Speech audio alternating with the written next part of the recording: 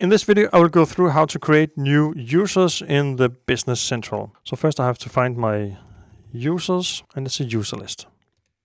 And when getting here, I can see that I'm the only one that is represented and I need to import some new users. I do that in the process and get users from Office 365. The Business Central is built up in connection with the rest of Microsoft products. On your Office 365, you need to have an account where you have a Business Central license. So every user with a Business Central license in your Office 365 for Microsoft will be imported into your Business Central.